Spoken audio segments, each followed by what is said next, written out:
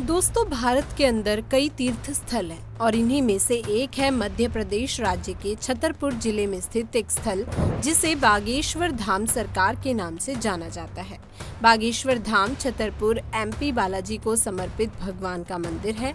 बागेश्वर धाम महाराज और बागेश्वर धाम गुरु जी का नाम श्री धीरेन्द्र कृष्ण शास्त्री है। इस प्रसिद्ध मंदिर में बागेश्वर धाम महाराज के दर्शन के लिए विभिन्न क्षेत्रों से हज़ारों की संख्या में लोग आते हैं। जिनमें बॉलीवुड और पॉलिटिक्स जगत के कई सितारे शामिल हैं। तो आज की वीडियो में हम आपको उन्हीं सितारों के बारे में बताएँगे जो सिर्फ़ बागेश्वर धाम ही नहीं, बल्कि कई और तीर्थ स्थलों पर जा चुके हैं। दोस्तों, आगे बढ़ने से पहले आप इस वीडियो को लाइक ज़रूर कर दीजिए और वीडियो पसंद आए तो चैनल को भी सब्सक्राइब कर लीजिएगा। तो दोस्तों, इन दिनों बागेश्वर धाम सरकार की चर्चा न केवल देश में, बल्कि विदेशों में भी जोरों पर है। बागेश्वर धाम में बालाजी महाराज का ऐसा चमत्कारिक मंदिर है जहाँ भक्त अपनी समस्याओं की अर्जी लगाते हैं और फिर उनकी सुनवाई होती है।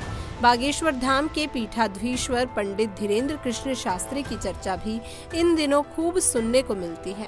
धीरेन्द्र शास्त्री द्वारा ये दावा किया जाता है कि जो भक्त यहाँ अपनी अर्जी लेकर आते हैं, उनकी समस्या का निवारण हो जाता है। बता दें, बागेश्वर धाम मंदिर की विशेषता ये है कि यहाँ आए भक्तों की मनोकामना, इच्छाएँ पूरी होती हैं और समस्याओं का समाधान। माना जाता है कि बालाजी महाराज और सन्यासी बाबा की कृपा से सब कुछ सिद्ध हो जाता है बागेश्वर धाम में धीरेन्द्र शास्त्री से पहले उनके दादाजी भगवान दास गर्ग दरबार लगाया करते थे। धीरेन्द्र शास्त्री ने दादाजी के शरण में अपना बचपन व्यतीत किया और दादाजी के साथ ही धार्मिक गतिविधियों में जुड़ गए। साथ ही साथ वो दरबार भी लगाने लगे और जन कल्याण के लिए काम करने लगे।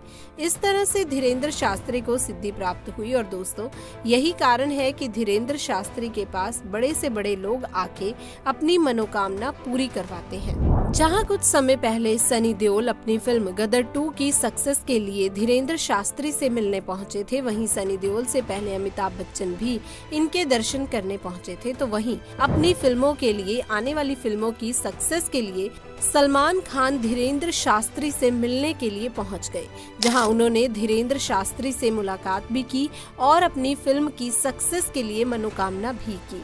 बागेश्वर धाम सरकार छतरपुर पूरे देश में आए दिन काफ़ी लोकप्रिय होता जा रहा है, क्योंकि इससे संबंधित सभी सीधा प्रसारण टेलीविज़न के माध्यम से कराया जा रहा है। इसके अलावा बागेश्वर धाम सरकार छतरपुर जाने वाले श्रद्धालुओं का भी मानना है कि वहाँ पर जाकर सभी की मनोकामनाएँ पूरी हो जाती हैं।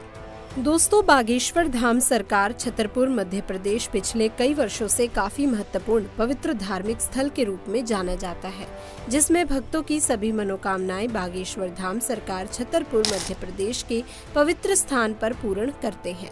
बागेश्वर धाम में श्री हनुमान जी विराजमान है।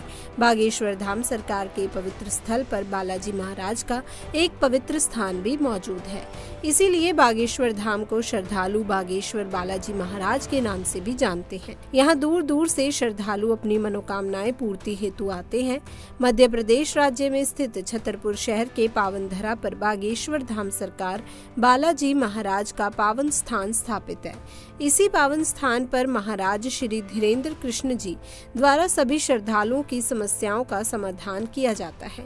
वहीं आपको बता दें कि मध्य प्रदेश के छतरपुर ज़िले के ग्राम गढ़ा स्थित श्री बालाजी के प्रसिद्ध तीर्थ स्थल बागेश्वर धाम के पीठाधीश्वर युवा संत धीरेन्द्र कृष्ण शास्त्री, आज कोई पहचान के मोहताज नहीं।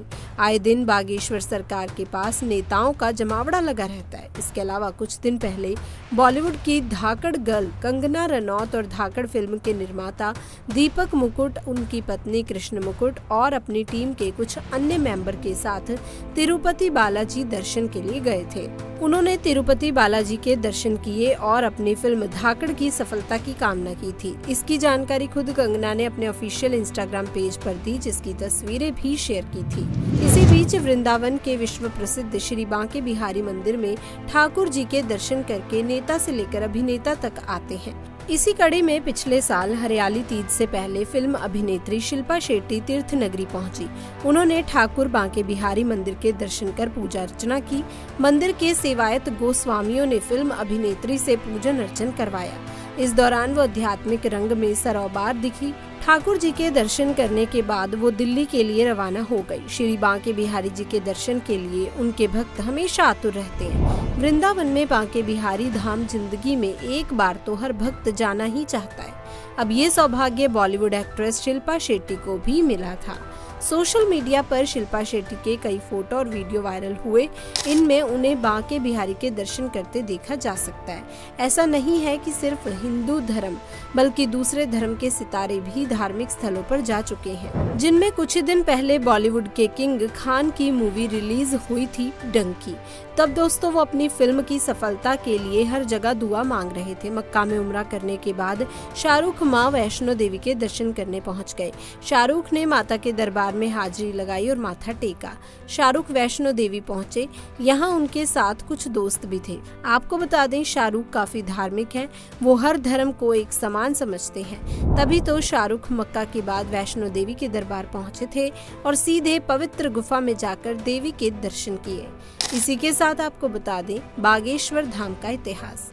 दोस्तों, बागेश्वर धाम का इतिहास एक गहन और रहस्यमय यात्रा है, जो आस्था और भक्ति की अद्भुत गाथाओं से भरी हुई है। कहा जाता है कि ये मंदिर सदियों पुराना है, जिसकी नींव धार्मिक आस्था पर रखी गई थी। 1986 में इस प्राचीन मंदिर का रेनोवेशन करवाया गया, जिससे इसकी भव्यता और भी बढ़ गई। उन्नीस सौ सतासी के आसपास यहाँ पर एक संत का आगमन हुआ, जिनका नाम बब्बा जी सेतु लाल जी महाराज था। उन्हें भगवान दास जी महाराज के नाम से भी जाना जाता है। इनकी दिव्य उपस्थिति ने बागेश्वर धाम को एक नई पहचान दी। संत जी ने अपनी शिक्षाओं और चमत्कारों के माध्यम से भक्तों के दिलों में एक गहरी छाप छोड़ दी। उन्नीस में बागेश्वर धाम में एक विशाल महायज्ञ का आयोजन किया गया, जो कि एक महत्वपूर्ण घटना थी। इस महायज्ञ ने न केवल श्रद्धालुओं को इकट्ठा किया, बल्कि यहाँ की आस्था को और भी ज़्यादा मज़बूत बनाया। यज्ञ के दौरान भक्तों ने अपनी समस्याओं का समाधान पाने के लिए यहाँ आना शुरू कर दिया।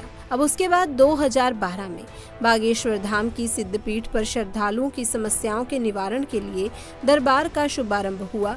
इस दरबार ने एक ऐसा मंच प्रदान किया, जहाँ भक्त अपने दुखों और समस्याओं के समाधान के लिए पहुँचने लगे।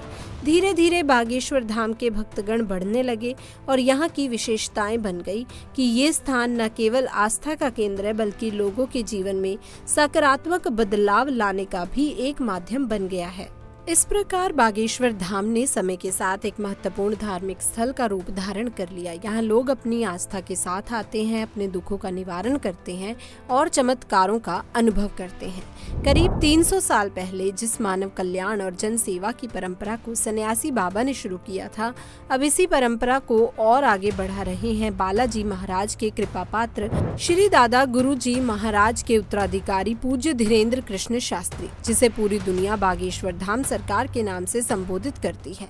भक्तों का कष्ट हरने भगवान खुद इस धरती पर नहीं विराजते, बल्कि अपने किसी दूत को भेजते हैं। भागेश्वर धाम सरकार बालाजी के वो भक्त हैं, जिन पर उनकी असीम कृपा है। यहाँ जो भी बालाजी महाराज की शरण में अपनी मनोकामना लेकर आता है, बालाजी महाराज अपने परम भक्त बागेश्वर धाम सरकार के माध्यम से उसे पूर्ण करवाते हैं। तो दोस्तों, ये थी आज की वीडियो। मैं उम्मीद करती हूँ कि वीडियो आपको पसंद आई होगी। अगर हाँ तो इसे लाइक करें शेयर करें और चैनल को सब्सक्राइब करें। आप सभी का बहुत बहुत धन्यवाद।